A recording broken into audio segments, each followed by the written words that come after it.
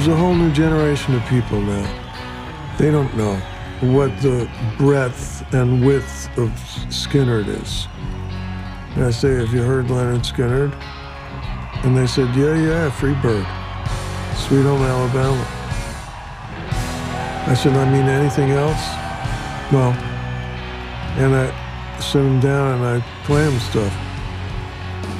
They go, wow, that's great. Like that.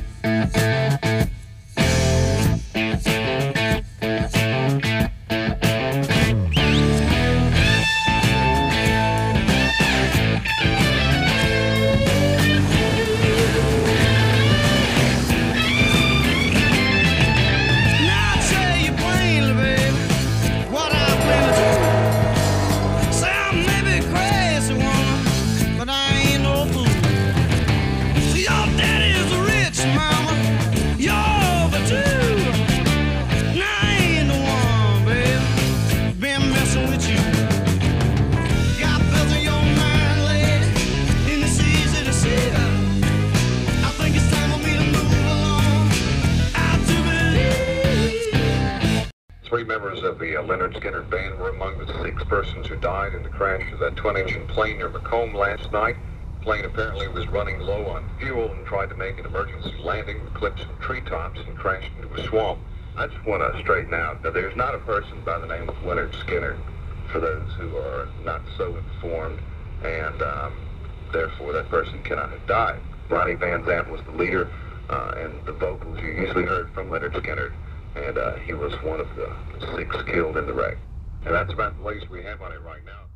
Ronnie, he called himself the Mississippi Kid. I never understood that because I'm from Mississippi. And I asked him about that one time. I said, Ronnie, you know what? And he said, I don't know. But he died in Mississippi.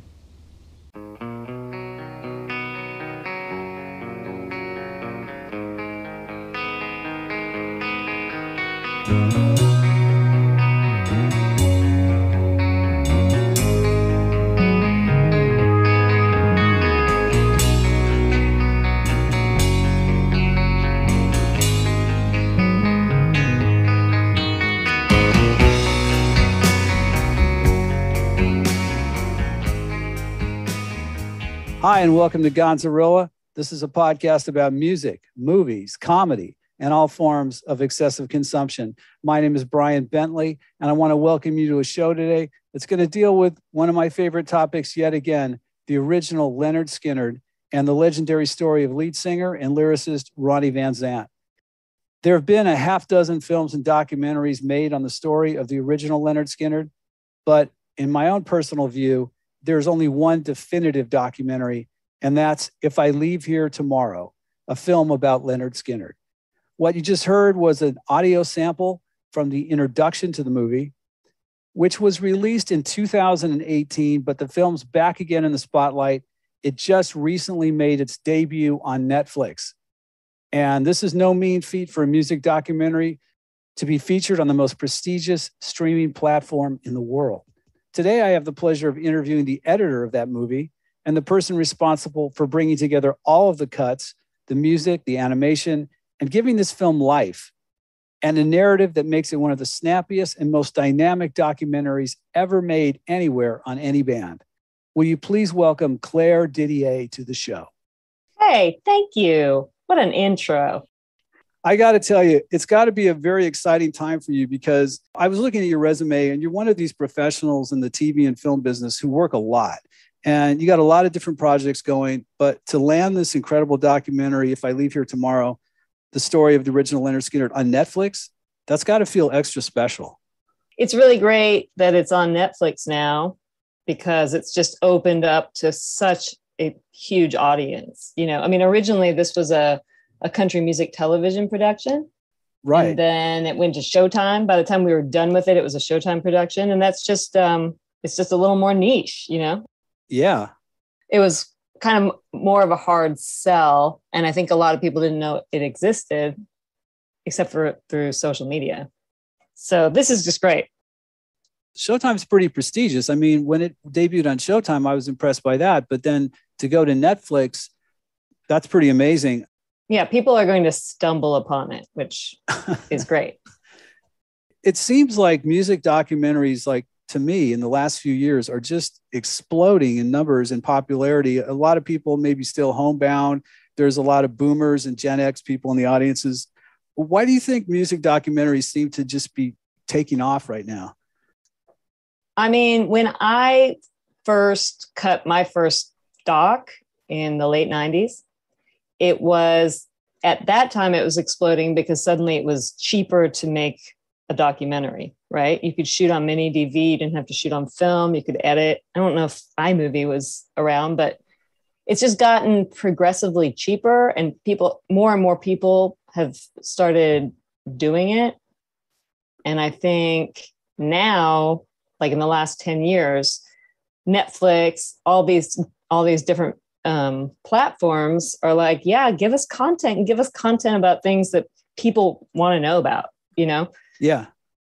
There's so many people that could use a good bio. And it's not like behind the music and it's it doesn't need to be trashy and short. You can really deep dive into I mean, I, it's like everyone will get their documentary in my opinion. I asked you earlier about your history with the band before that, and you said that uh, you had very little knowledge of Lynyrd Skynyrd other than you know Freebird and the hits. So true. But yet you still put together a film that just kind of reeks, I would say, of authority to it. I mean, how did you get the opportunity to work on this? Well, it was all Stephen Kijak, the director. Um, I mean, he has his own story, incredible story of just how he ended up directing this. But basically, he came to me originally for his um, film We Are X about X Japan, which is really great film. Um, I didn't work on it because I wasn't a native Japanese speaker, but he called me up again later when he had a Judy Garland film and a Lynyrd Skynyrd film, and he, we we just really wanted to work together so it was like whichever we're going to do first we don't know. So we would literally have conversations about both judy garland and Lynyrd Skynyrd and why we care and why they're amazing. And um and skynyrd went first. We just it was like every all the all the pieces fell together. And i remember sitting at a coffee shop and having him lay out album by album how the skynyrd story goes you know? And it was fascinating. And I also thought was really funny because I know he's like, he's kind of a goth. Like, you know, he's, he did the Scott Walker film. Like yeah. he's, he's got, he, he's, he has an amazing, um, cool music taste. And I was kind of like, okay, so this is the Sweet Home Alabama guys. You know, I, I was naive. I admit it. Um, but to me, it kind of doesn't matter. I wasn't even excited about the music. I was excited about their story, which sounded incredible. You know, to go from the swamp to fame and then have it all crash. You know, that's yeah. that's a great story. So when we got into it, it was only when we started really getting into the edit and I was listening to all the albums and I was like, wow, this is this to me is untapped amazing rock and roll. You know, I'm I'm a I'm a rocker. I like rock and roll. Um, so yeah, it was it was I came to realize that I think it helped me to I mean I wasn't a snob about it. I I didn't think I wasn't gonna like it. I just wasn't I wasn't told I didn't go in thinking that. And it blew my mind. The yeah. more I listened to it, the more I was just like, this is incredible. You know, and it was like I ain't the one instantly was my favorite and I just like cut and open because yeah. I was feeling it. And it was, I, I think actually I was blessed to hear all this for the first time as an adult and not have it be something I grew up listening to. Isn't that amazing though when yeah. you get turned on to something that you would never have seen in a million years? There's so much more to the story of this band. I mean, you got to work with a character in Ronnie Van Zant that, I mean, could you ask for a richer oh. background? Yeah. I did an interview last year with Al Kooper, who does the um, introductory um, announcing in the clip we heard on the intro. The thing that I got from that interview, and also from talking to Jared Cohn, who directed the uh, Artimus Pyle Mm. biopic Street Survivors, was that the one thing when you're dealing with Skynyrd fans, these are the most diehard fans in the world, and they're unbelievably loyal and protective of the band's legacy. And Yeah. they're especially in the Artimus Pyle situation, distrusting Oh yeah. of what you might call like the big city movie studios. Oh, big time. As far as Artimus's movie goes, when I was talking to Jared, we were talking about how Judy Jenness Van Zant Mm. went with a team of lawyers after the film because she was saying that Artimus was trying to manipulate the story to make himself look good. So there's a if you go on the Skynyrd Facebook groups, of which there are probably close to a million members online. I mean, Yeah, it's yeah. fanatic. It's fanatic. Mm. Did you feel? Did you and Stephen feel that pressure that you had to get it right? Yeah, I mean, hundred percent.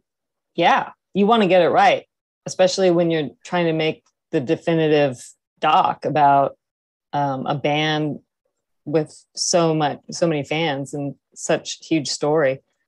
But but I th- I would say also, like I think you know Stephen was really deep diving in those worlds where I really wasn't. I was trying to keep myself, you know, I, I didn't even really watch any of the other docs about the band. Um, I knew that Probably a good eventually I would. Yeah, I just didn't want it to to, you know, refocus anything that I was going to experience. I mean, it's so rare. You know, I always say like I'm a huge Prince fan. Do I want to edit the Prince movie? Probably not. I don't I don't think I could be objective, you know. Yeah, But- yeah. Skynyrd, it was just like, wow, are you kidding? Tell me more. You know, like this is incredible. So I there was there's always pressure to get it right, but it was also like, let's make the film that I feel like is here and that we have. I mean, because it really is just if you think this is how I consider editing. It's like you're really just assembling a collage of uh, documentary editing. You're assembling a montage of what you have available. You know, there's not, you can't go get more material. I mean, you can do recreations and stuff, but it's like we just needed to make what we, what it was going to be. I was like, I'll deal with what we got right and wrong after we make this and before we finish it. Your style of editing, I would describe, and a couple of people who watched the film with me, everybody used these words rhythmic, dynamic, flowing with the storyline of the song. Let's talk about a couple examples that I, I actually took out from watching the film the other night. On the clip for Poison Whiskey, for instance, you use an animation tool to write the Mm. lyrics on the screen in the exact font as the liner notes for the Pronounce album. Oh, and yeah, that's that like in cool. perfect sync with the vocal.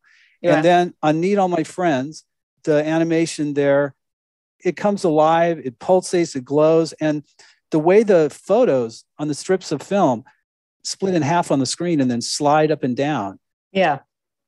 it's creative and inventive and so different than the, you know, talking head shot, still frame, talking head shot, still yeah, frame. yeah. Well, I appreciate that. Love to hear it.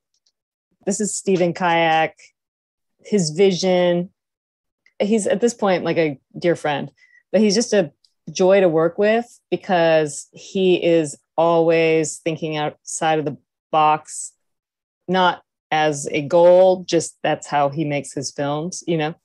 And um, like the the like poison whiskey, these scenes you're talking about, that was totally him like we we're going to put the lyrics up we're going to rip it from the the liner you know the album so then i made the ba- you know we had all this incredible photos that we got from all these crazy different sources Yeah, I was going to ask you where you got some of those because I've I've seen a lot of them, but I've never seen a lot of those. Yeah, yeah. Well, that's a whole other story. But so I would take what we had and basically make a framework of what we wanted to see in the animation. And then we handed it over to this um, woman at her company in London, Blue Spill, Alison Brownmore. Um, and they did a lot of a lot of those super top notch animations. That was all them. Okay. And yeah. And so it was kind of a collaboration that way, but it was like Stephen mastermind. I would build the, the scaffolding and then Allison would just like take it to these places where it was it was incredible. The way the introduction goes, because you mentioned I Ain't the One. It's an amazing song. Bob Burns, the original drummer for Skynyrd, uh, he does a, a shuffle pattern on that thing where I believe at one point Ronnie's on stage at the Knebworth 76 show in England just for a second and he, Oh, shake, yeah. he shakes his head to this shuffle beat that goes chicka chicka chicka chicka chicka. Yeah, like his yeah. head his head goes right with the beat. And I I was just so blown away at that that you get into the story so fast and within Mm. the first 5 minutes you've established like in any good novel or any good anything you've established the background, the main character, the dynamic between the members.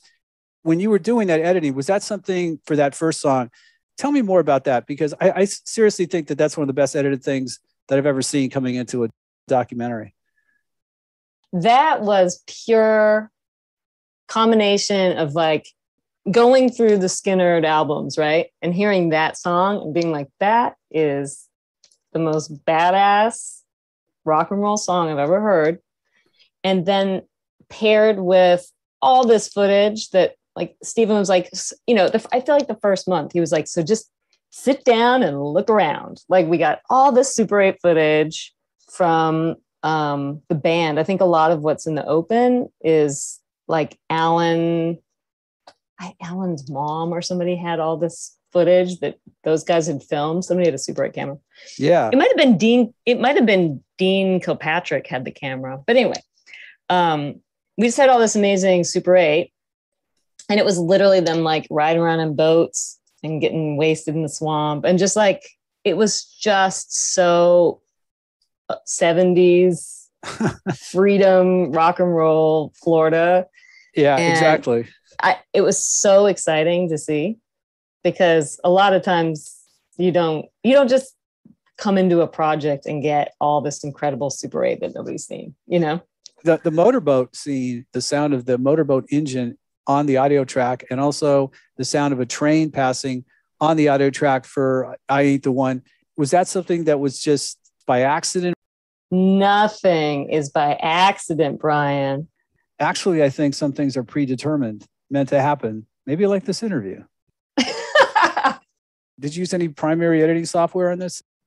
yeah well i cut on avid Oh, Which is- have it. Yeah. yeah um it's kind of industry industry standard has been people keep talking about premiere but i'm gonna tell you avid still it's a little more stable but anyway it has nothing to do with avid or premiere um the okay so super 8 footage never has sound i shouldn't say never super 8's always silent when it's like the just the basic super 8 that any person would have in the 70s so yeah, we added in sound effects.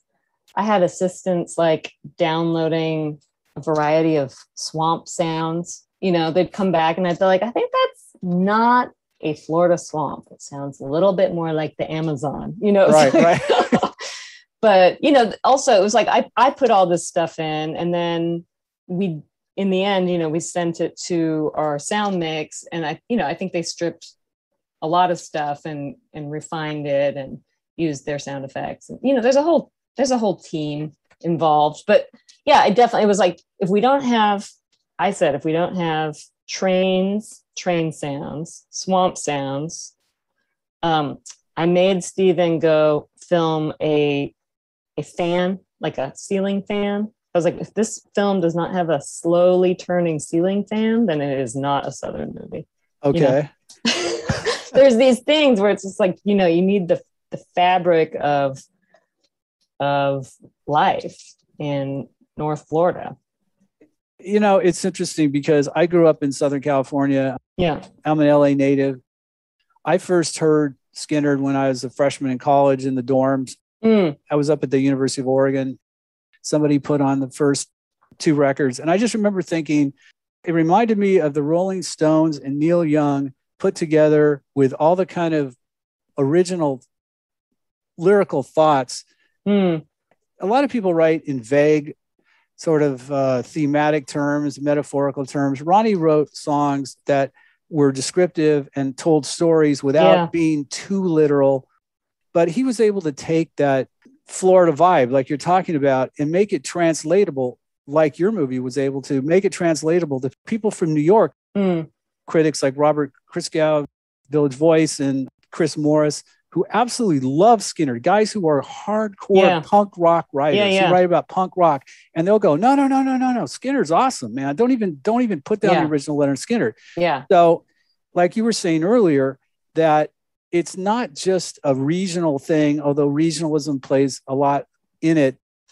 There's a need to go out and tell people, like the people that were watching it with me, wait a minute, this isn't just the cigarette lighter Freebird anthem band. This is a band that had a full breadth, as oh. Al Oh. says. Yeah. When I saw that movie, I was like, okay, nothing is going to ever beat this. This is literally going to be hmm. the definitive story because it's so clean. And Mm, there was a famous quote that Jimmy Iovine once said. He said, somebody asked him, What's your secret for how to produce a great record? He said, Make the music sound as good as it can. mm, yeah. Right. When you were doing the film, was it something where you had to make a lot of decisions as to what would fit the simplicity? Or did, in other words, were there things that had to be rearranged in the edit list or the timeline that you had to do? You know, we went, I mean, it's really chronological, right? I mean, Yeah. yes, we start with a crash. And yes, at one point we go, you know, we visit uh, Studio One and we visit the, the um, plane crash site. But really, it's we're, we're going album by album. And so that was really, but, and what's helpful is that Skynyrd is like writing about what's going on with themselves through each album. You know, it's, they're very self reflective. Yes. So it was easy to structure it that way. And I don't know. I remember like literally the first week that Stephen and I were working together, he said, All right, let's just start with what's fun. and I love that. He's like, What's fun? And I, I honestly can't remember what the fun thing we started with was, but it, you know, it was like, I'm trying to think. You know, it might have been like Simple Man. You know, I took Devin Gelfinian, who did that rendition of Simple Man, and like cut that together. And it was just these little, we made these little kind of vignettes of songs. We we chose the songs that we wanted to feature and the artists we wanted to feature. And then it, you know, we put it in order. I mean, there was a lot of cool stuff that didn't end up we fought for. He um he went and filmed the Okefenokee Swamp, and we put sw- swamp music to it. I mean, it was so cool, and it it really it moved the story forward zero percent. Like our producers were like, "What is this doing?" And we were like, "We're in the swamp. It's amazing." um, and they kept fighting it. You got to take swamp music out. And we were like, "That's this is like the whole base of this band," but eventually it, got cut out it, it felt very organic how it came together. There really was not a lot of manipulation of anything, really. I mean, originally when I talked to Stephen, like before he, I mean, he was still shooting interviews, he wanted to um, do an entire recreation of Hell House, like at the place where it was The studio loved that, I bet, right? yeah originally they were like sure we'll find the money for that and then of course there never was the money for that but you know so it was going to be really i mean i think we actually lucked out that we didn't do that because it would have taken it in a kind of more like arty direction and there was just really no need to do that Yeah, there's know? no need to do a recreation. And, you know, like I say, the footage that you were able to get. yeah And I assume that Stephen did all the principal photography, the the shot of the plane going over the trees, the i mean trains. his his he, he has amazing people he works with so yeah like sound recording and dp you know these are people he's worked with before and Gary Rossington is uh, Mm-hmm. an interesting guy. I mean, he has survived, let me see, car crashes, oh my god copious amounts of medicinal consumption, How is he still alive? multiple heart attacks, I hear. And yes. yet you can comprehend what he's saying. And yeah. he gets in some great lines. I didn't realize how funny he was until one of the things that he was talking about Ed King and how Ed would try to Oh. f- fleece the other guys by buying Slim Jim uh, beef jerky for a quarter and then Oh selling it god. for a dollar fifty on the road when they were I was hungry. on the floor laughing about that. my. God.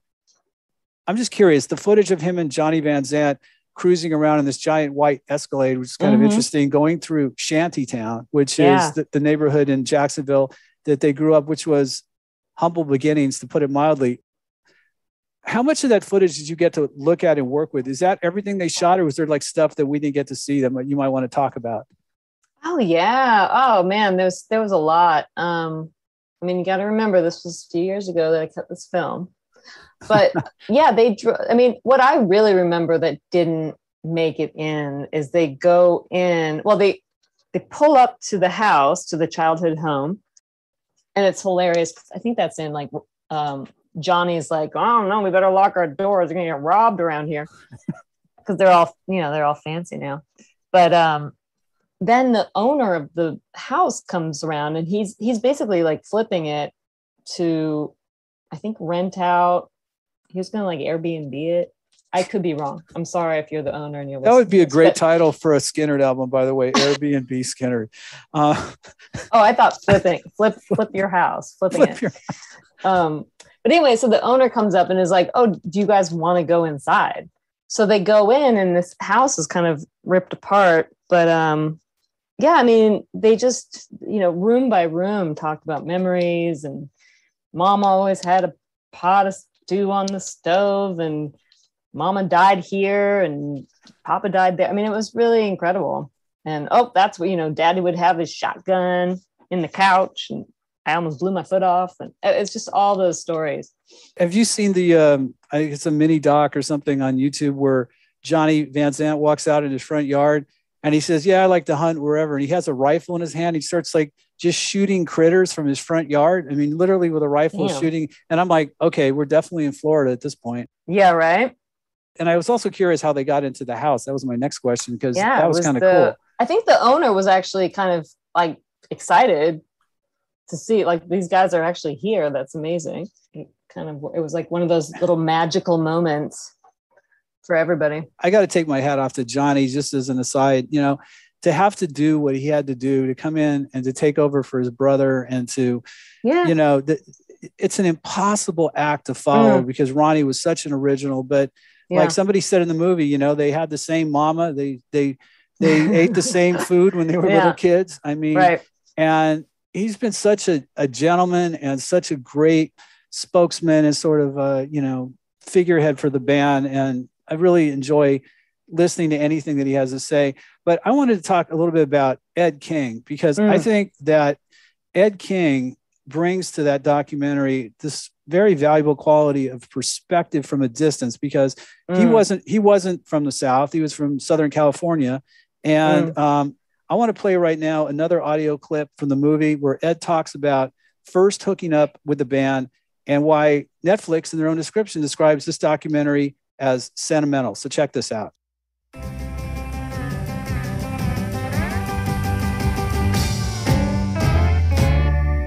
I was in this band, the Strawberry Alarm Clock, West Coast band. We had a number one record in the fall of 67. I had been to the South before with the Beach Boys, but you don't really see much when you're just going from hotel to gig. And I really liked what was going on down there. It was a lot more uh, real than LA was. It just seemed like really down to earth. And I figured if there was any real good rock and music happening, it probably had to be down there. When I saw Skynyrd play the first time, I really liked him, particularly the lead singer, Ronnie. He was just so charismatic, and the music just seemed to flow out of him. And I said, well, you guys got to keep on writing, you know? And uh, a couple weeks later, he called me in my hotel room, and he said, I want you to come down to this club called the Comic Book. We're rehearsing down there. We wrote a new song. I want you to hear it. So I went right down. They played me this song called Need All My Friends, and a chill went down my back. Uh, it's just, uh, I was seeing it, you know? It's been so long since I've been gone. Lord, I'm tired now.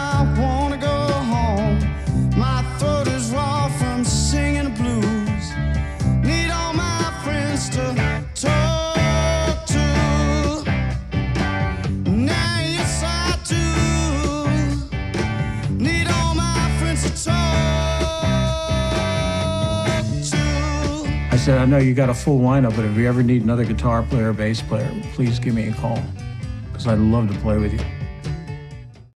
For anyone who came in late, my guest today is Claire Didier, the editor of If I Leave Here Tomorrow. That's the definitive documentary on the original Lynyrd Skynyrd, which is now streaming on Netflix. Check it out. If you haven't seen it, I guarantee you, if you watch this, you will watch it twice. So the one thing I and wanted you'll to, buy a Skynyrd album. and you'll buy a. Skynyrd album.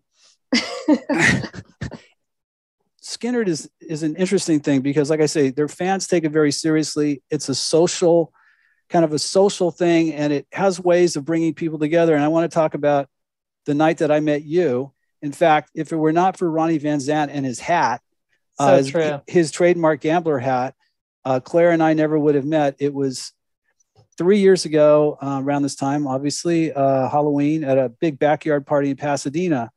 And you came dressed as Prince, which I thought was awesome. And I was dressed like Ronnie. And I had the snakeskin hat band, which I got from this old biker in New England who's pretty big online doing it. But I didn't have the budget for the uh, the custom Van Zant uh, gambler hat they sell for like six hundred dollars at uh, Texas Hatters. But it was funny how you walked up to me and just started calling me Ronnie. Go, hey, Ronnie. I yeah. I mean, Prince and Ronnie Van Zant are like two of my favorite people, which maybe not a lot of people can say. But yeah, no, it was so cool to see you because I mean, I really I grew very fond of Ronnie Van Zant cutting this film. Like I just I I had dreams about him. We would hang out. Like he, it was he's a really fascinating incredibly gifted in in strange ways you wouldn't imagine um, guy. And so it was. I would always joke, like I would always joke, like I, I'm in love with Ronnie, and then there's Ronnie at this party, and I'm Prince, and I was like, this is incredible. So it was really fun to meet you that way. It was. It was. And, it was. and nobody, and that was the other thing. I mean, I'm a little evangelical about my Skynyrd, and I really was at the time because I was like living and breathing Skynyrd. But people just, I feel like people don't understand Skynyrd, you know, especially in Los Angeles, New York. People, I feel like a lot of people write them off. A lot of people can only associate Skynyrd with what Skynyrd is now and what Skynyrd says now and their Confederate flag and all that. Stephen Kijak and I have done a Judy Garland film together. We've also done a Lynyrd Skynyrd film together. And I remember somebody saying to me, I'll watch your Judy Garland film, but I'm not watching your Lynyrd Skynyrd film because those guys are, you know, assholes. Uh, well, you know, the band has been recreated in the media's mind and maybe in their own mind to an extent. But unfortunately, we live in this era now where regionalism and fragmentation has become so bad. They came out, Ronnie was instrumental in getting Jimmy Carter elected president in To- 1976. totally. Yes. And they did a series of concerts at, at the Fox Theater in Atlanta, which are part of the Live Skynyrd record, that were designed to raise money for Jimmy Carter. Saturday Night Special is not a, a song about, let me get a gun and shoot somebody because it's Saturday night. It is a gun control song. yeah. Ronnie Van Zant did not have, as Artimus Pyle has said, he did not have a racist bone in his body. Yeah. Did you guys debate about how to handle that aspect of it? Um, I was really excited to tackle that because, you know, as I learned what their how you know as i learned about the band and their origins it became very clear to me that you know people i'm from kind of a small town. So i i see i see the difference between like liberals from the city and the country folk. And I, I feel like in the past few years especially like being from the country's got gotten kind of a bad name. You get kind of a bad rep you know? Yeah. it's like i feel like it's something that's not talked about where there's a difference between um, ignorance and being an asshole you know like i will buy that skynyrd boys did not associate bad connotations, racism, pro slavery, that they did not associate that with the Dixie flag when they were coming into fame. I will give them that. You know, 20 years later, 10 years later, like, yes, you by then you have you have learned, you have spoken to people, you have left Jacksonville, right?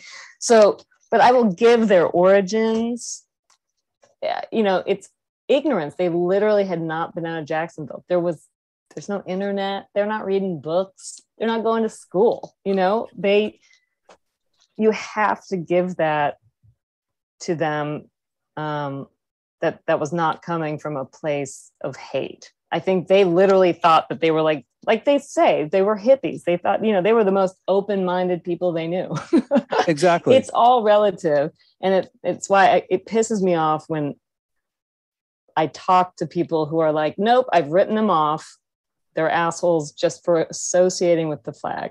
Right. To me, right. it's like you need to go back, you need to think about what you're saying and understand like where this came from.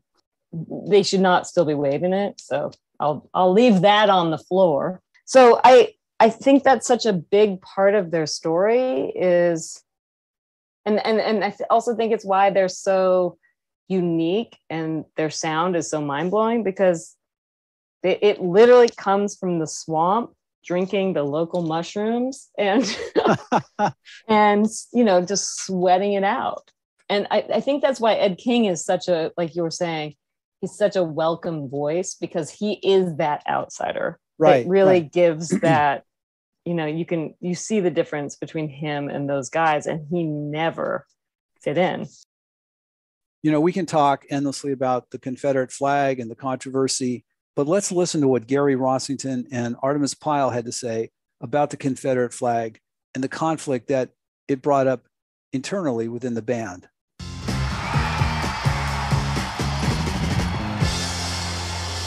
We went to England and they acted like we were the Beatles. And we couldn't believe it. We were looking at each other like, God, can you believe this?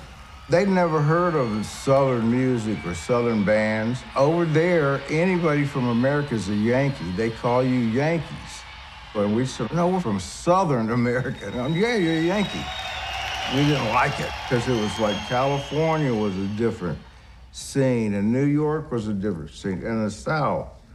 And that's where the flag came from. It was a gimmick for us at first, you know, Southern band. And MCA made that a gimmick, a hype thing, you know, Southern band, you know, hard rock and rebels and drunken fighters and all this stuff. And they put out that publicity and hype. It's what it is, nothing but hype. Yes, it was the record company pushing a Southern band. No, it didn't bother me to play in front of a rebel flag because I know how I feel. I didn't think about it that deeply then. I have since, and look what they've done. They've taken the flag down on a lot of things because it does represent hatred. It's like the flag got kidnapped by the KKK. They carried it, and all these evil people use the Confederate flag as a hate thing. It's them against the world, kind of. We never, ever one time meant the Confederate flag to offend anyone. But I know it's naive to say that too, because it does hurt people. And it does remind them of the war and slavery and all that. But we weren't into it for that. We were just showing where we were from, Southern music. I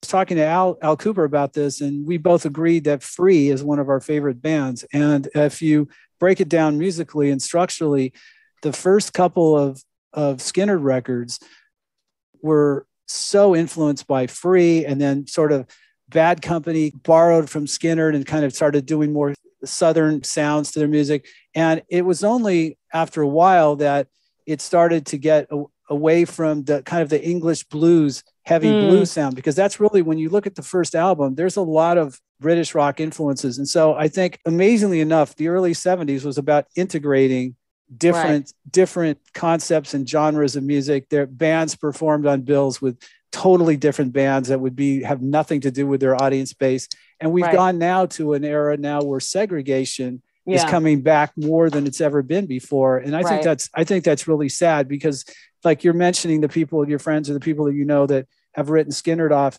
You know, we need to get away from the symbolism, Mm. start looking at the entire perspective of where people are from. I mean, Yeah, right.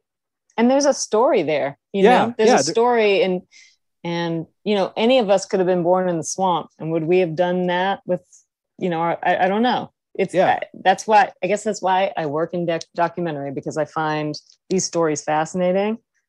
The ending of the film was really interesting to me. Um, I don't know if you remember the ending of American Graffiti, where they kind of go from this sort of sunny picture to like this crawl that describes, you know, how everybody died. And when Right. you guys flashed Day on the Green, Oakland, California, 1977, it's a free bird. It's a very famous thing. It's one of the most famous clips. And you've got all these these beautiful tan California girls. They're like bouncing wildly in front of the stage. Everything's sunny and festive and happy. And as the song reaches its finale, beneath the, the name of each member of the band, and I'm including the uh, backup singers, the Honkettes, Cassie Yeah. Gaines, Leslie Hawkins, and JoJo Billingsley. I want to say their names because I think they were very important. The dates of each member of the band's birth and death is shown. And it's the average age, I think, works out to about 45 years old. Oh, and I yeah. thought that was just a staggering way to Mm. end that. Was that a, was that a mutual concept you guys came up with, or was that something that you thought of? Um, gosh, I, I mean, I'll get, I'll give it to Stephen Kijak. I'll give it to him. I bet, I bet that was his, his idea. But um, I, I agree. I mean, it's just, I think it was because we wanted people to think about how old, like Ronnie and everyone in the plane crash was when they died, and and you know, just reminding the viewer of how young these guys were, what they did during the, in their brief trajectory. So naturally, we're going we're going to do that for everybody, and then really like realizing like, oh my God, so many of them really just died so young and had hard living, dying young lives. Tragic. There, they talk about the classic Southern tragedy, you know, the like the Gothic Southern tragedy, and Mm.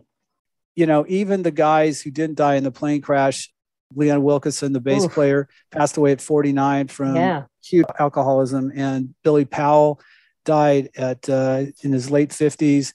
The day after, his cardiologist demanded, "Billy, check yourself in the hospital, or you're not going to make another week." And he Mm. just said, "You know, it's when it's my time, it's my time." And I think some of that, uh, some of that philosophy really hurt them. And then, of course, Jojo died of cancer. Yes, and then I, Mhm. wa- I got to mention Bob Burns, who was one of Mm. the most in- incredible drummers, and he died in 2015 at the age of Yeah. six, 64, and that was a single car accident. Mm. He wasn't wearing a seatbelt, Yeah.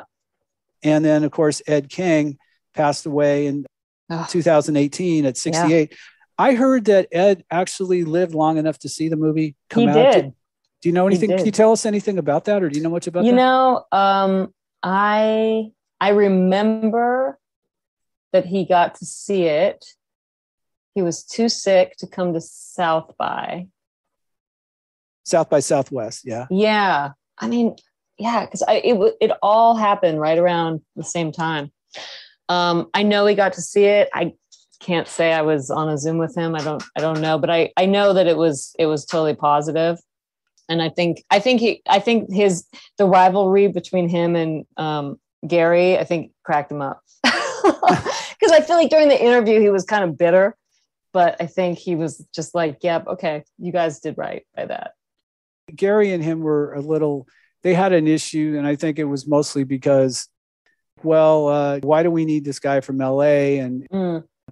Ronnie knew what a good arranger Ed was. He knew what a great, that Ed could play bass and guitar. He knew that Yeah. Ed, Ed could arrange. And, and Ed wrote Saturday Night Special. And i mean he was let's just amazing. talk about royalties too you know it's like the drummer of the band was not getting royalties off um sweet home alabama. You know what i mean? Like I, there- I so didn't know think that. Yeah. i think there's there's a little bad blood with all that stuff too you know? If you Yeah. look when you look at the albums and you look who gets the credits it's like there's um it's not the whole it's not the whole band. It, it was it was strange. The whole artimus pyle thing you know i was supposed to interview artimus. We were we were going to do a thing on his movie and i tried to call him up and explain to him what zoom was And not to knock Artimus, but he, he wasn't having a techno a technologically um, happy day. So he said, you know, you want to you want to call me and do a print interview. And I said, no, this is, you know, I want to talk to you about your movie. And he kind of sort of had a mini meltdown and he said, I got to go. And and I just kept thinking, what if I had just called him and put him on a, a speakerphone and just recorded? I've got a high Yeah. end high end digital and just recorded it off of that. So Artimus, if you're out there, man, I'd still like to talk to you. But let me change tracks for a second and go talk about some of the other things that you've done. There's three things that you've done among many. I mean, your resume is really impressive, but any ideas you can share with us about who killed Tupac, which was on A and E, a six-part series, Sid and Judy, the Judy Garland documentary, and also something you worked on in about 10 years ago, the Source family. Do you, Hmm. you want to talk about any of those things?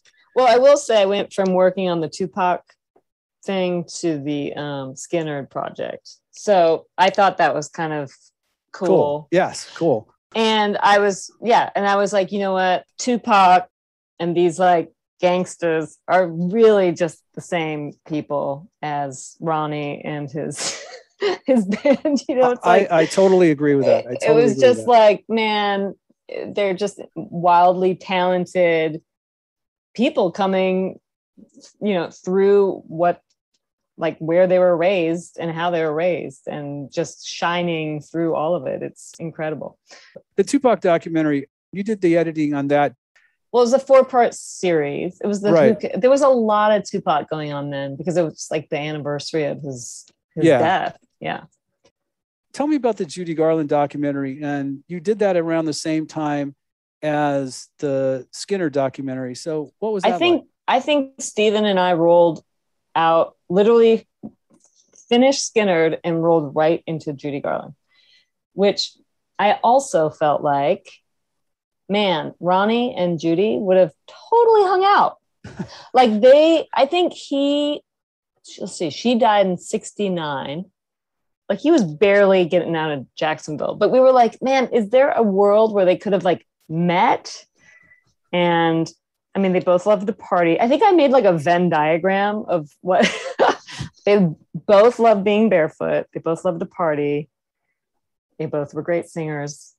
Um, I can't remember. There was a whole thing. It was very funny. But they both controlled their their milieu or whatever you want to call it. yeah, right. They were both short. They were the boss. They were both the boss. I mean, Ronnie married a woman named Judy. Like it just it goes it just goes on and on. Interesting. I'd like to see that diagram. like I, there's I, there's these great shots of Judy playing pool, you know, Right. in New York, and it's like, yeah, Ronnie would have been there. They would have totally hung out. But anyway, um, but yeah, two totally different eras. So it was, uh, you know, it was a similar approach. There was a lot less um, footage of Judy for the era that we were covering. You know, part of the fun of the Skynyrd film was um, just, you know, Stephen and also Bunny, who was one of our archive researchers and associate producer, she was out there trying to find people who would have photos or or footage from these Skynyrd concerts in the 70s, you know, and it's like you're not going to find that with Judy in the 50s. Um, it, it what exists exists. For the Judy film, we had a bunch of never heard before audio recordings from the Sid Luft estate. Yeah, that was great Her stuff. husband Yeah. yeah that was really incredible and you're just you have to kind of pile through hours and hours and hours of drunken phone calls to find some some magic but um it's part of like the fun of this job is you know i watched like all of the judy garland show like the entire season or Yeah. two seasons so There's one phone call that's very memorable, and I, I guess it's between Sid Luft and I, I don't know who the other person is. There's some studio executive, but it would have been similar to what would have happened with Lynyrd Skynyrd, where they're saying she's got to clean up her act, you know, because Yes. because if she doesn't do something, yeah totally the similarities there, they definitely would have enjoyed uh, going out and you know knocking a few down. yes I just think it's amazing how If I Leave Here Tomorrow, and we're talking to Claire Didier, the editor that worked on this amazing Skynyrd documentary that is right now on Netflix. So check it out. What I find amazing is how, okay, I will go on Facebook and I'll go into these Facebook groups and, you know, the comments show up in my feed or the posts. And people are always saying, well, I heard that Artimus said that it was amazing how brave his friends were Mm. when they met their deaths. Or Gary's famous quote when Ronnie got drunk with one interviewer, where he said, Well, let me ask you a question. You know, how the fuck do you think you're going to get out of this room? Right. They don't attribute it to your movie. Your movies become so ingrained into the culture that it's literally like a Google reference go to source for any quote. And yet people don't seem to like attribute it to your film. But you know what I'm saying? It's become like sort of like the fabric of the story. And that, Yeah. that's pretty uh, phenomenal to me. That's pretty cool. I don't have much more to add. I just wanted to tell you how much I love this film. I think that I would go so far as to say, you remember those rhythm machines that they would make, uh, the light boxes that they would make, like the disco light boxes that pulse with the music. If you want to, if you want to see good editing, check out this movie because the editing moves to the music, like to the grooves and to the rhythms of the of the music, and that to me is uh, simplicity. Sometimes, you know, like with the Beatles, Nirvana, Mm. is the hardest thing in the world to do. Is there anything that when you were starting out as an editor, and this, I don't want to start going back too far, but did something inspire you or did certain films inspire you to want to do were there music documentaries you saw or any kind of documentaries that said oh i got to try to do this because everybody starts out as a fan Yeah. You know, it's um I mean, I've always been a music head. I've always listened to music. I've always music's always kind of ruled my life. But as far as like editing, it was never music docs, really. I you know, I just I love a good story. This sounds so cliche, but it's true. I I mean, I remember watching like American movie in the late 90s and just being like, "Oh my god, yes." You know, I just like just put when you actually sit down and and hang out with somebody for two hours and see what makes them tick. I've just always found that really fascinating. When it is combined with music for me it's it's a dream come true. I mean that's why the skynyrd film was so fun because music totally guided it you know? I mean Yeah. we sat down initially and we're like okay these are the 30 songs we're going, going to use and our producer's like you can use 11 and we were like there's no way. We, we're not making the film if we can only use 11 so i think i can't remember what, it ended up. It was in the 20s the tracks you choose like tuesday's gone and stuff like that and the way you put them in you know fit everything so well. Uh, i assume the movie's been out on dvd for quite some time. If i leave here tomorrow? Yeah. I, um, can you can you buy a dvd nowadays? I don't know. I really don't know. In the south you can well i better go to jacksonville and buy myself a dvd of this film because i don't think i have one. You know the physical media is kind of cool just because you always say whoa it's you know it's on netflix till the end of the month. What do i do then? And the physical Oh, media right. is nice to have. Until you don't have a dvd player anymore but yeah. Yeah yeah. Well that's the big thing that people talk about is when they stop making the hardware you Yeah. got nothing to support the software. Anyway my guest today has been claire didier the editor of if i leave here tomorrow a film about lynyrd skynyrd which is right now streaming on netflix and you're listening to gonzorilla and uh, this is a podcast about rock and roll but soft spot for ronnie and lynyrd skynyrd and the original band big time anyway I claire wanted I wanted to say to Yes. Gonzo Land that I am wearing my Shoko shirt, oh yes and I just wanted to be sure. I know Yeah. you guys can't see it, but I am rocking it.